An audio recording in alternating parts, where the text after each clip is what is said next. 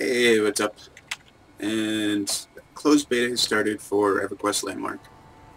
And uh, so I have a new claim and been building new stuff. I went through, I upgraded my pick as far as I can go, my axe as far as I can go. There's a couple of materials, tier 6 ones I think, that aren't in the game yet.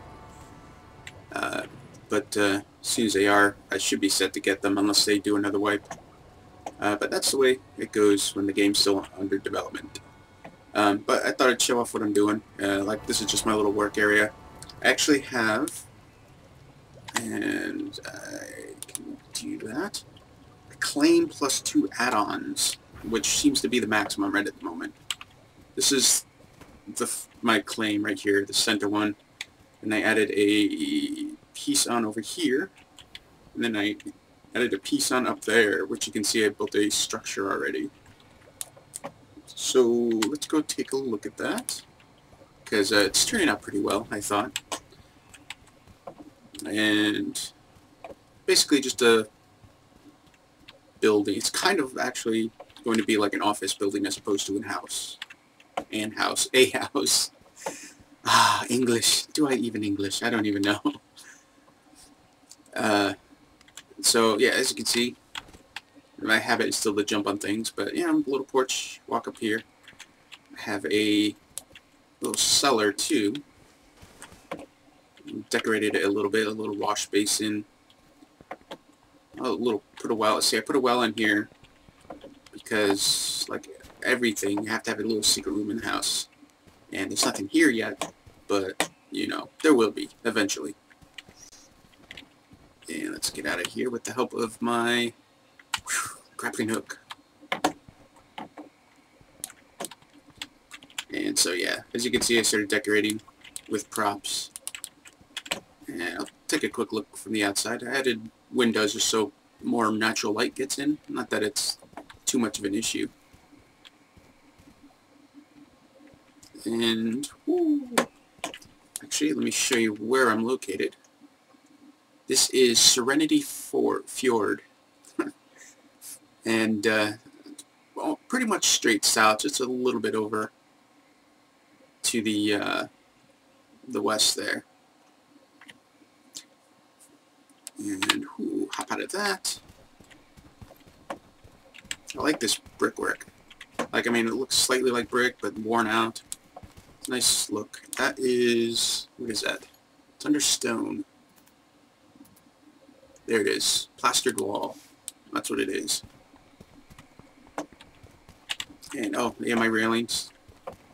These, I basically did Tetris pieces. Like, it was like one piece there. Uh, I think it was one, one, one, one. You know, like the squiggly shaped one. And then I uh, smoothed it out a little bit. And then I just kind of pasted it together. And then I went through and added the uh, wood on top. Okay, but let's zoom out. Mailbox, and it's functional. Not that I have mail yet, but if I were to get mail, that would that would be where it is. Okay, door, main entryway. There's nothing really here. Uh, when the sun is uh, over there setting, it shines right through. It's pretty neat. Okay, and this is, you know, I made like just a sitting area essentially. I want to add a few more decorations. Put some paintings up just to give it a little more uh, color. And we can take a look out the windows. There's not much to see because it's hill. that's kind of neat. And over here, I started to make almost like a spiral staircase. I actually built it outside and then cut it and paste it in here and then kind of modded it a little bit.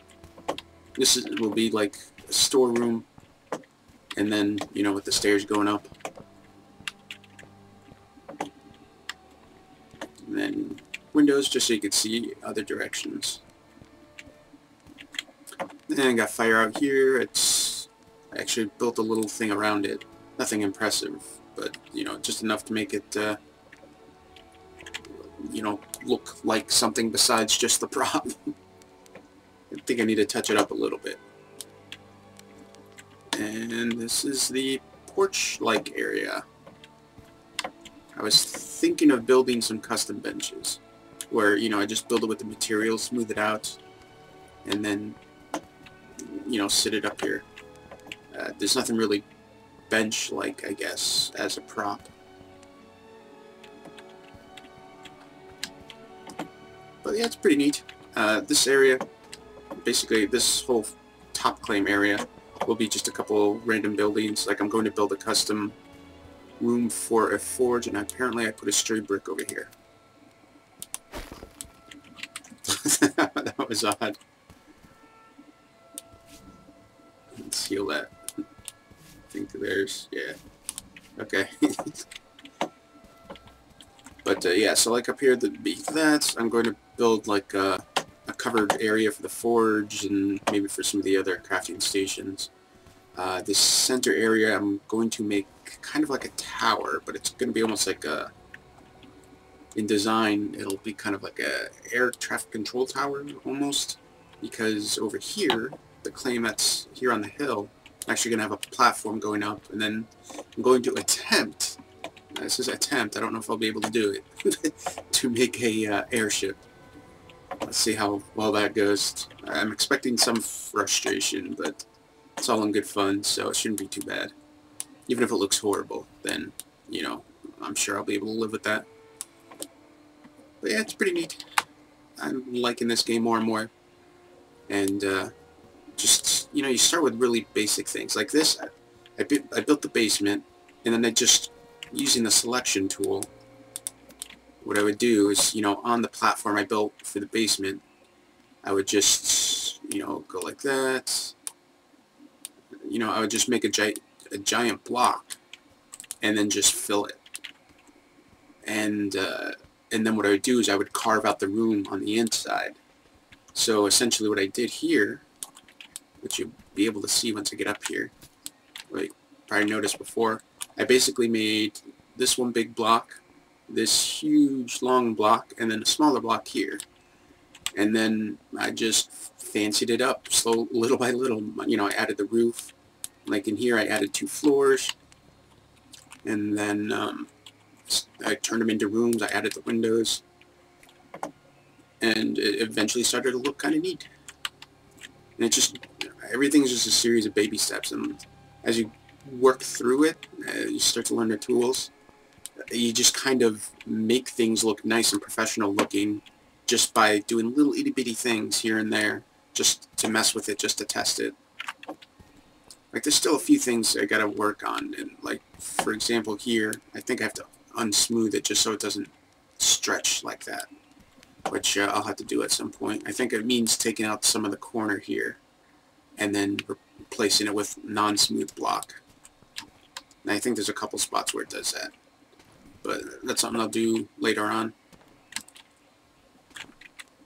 Um, I'll take a quick look up here. Just um, I have a friend who put a claim like right up here. We were going to try and build it right next to each other, make like a village, but uh, I'm not exactly sure how to do that, so he wanted to put it up here on the top of the hill. And I know he was car he had a hole carved out and kind of like a moat. Let's see uh, where it is right now. And it should be up here. Here it is. Okay, so here's this carved out. Looks like it goes around most of the way.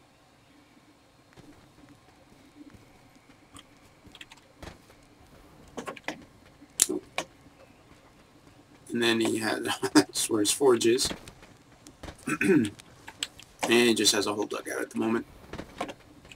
Oh, he has a second crafting station up. Oh, that's actually, uh, yeah, it's one of the last ones actually. So he skipped a couple. That's good though, because once he has this, he can make the other crafting stations.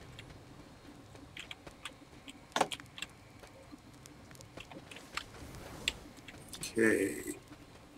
And that's that. Let's take another quick look at my place from the mountain up here. Yeah, I purposely put my claim between two biomes, and it turned out that I'm right next to, for as far as wood is concerned anyway, right next to the first tier and then the last tier that you can get Well, not the last tier, but the last one you need anyway for what you can craft currently. Because Tundra has the spindles, I think, spindle cones. And you need that to make some of the more advanced wood. And then this the this is actually tropical, has uh, the palm trees. And the palm trees are used for the palm hearts so you can make some of the lower tier items. And there it is, the house, I can actually see the fire from here. Pretty cool. I just wanted to show that off real quick. And until next time.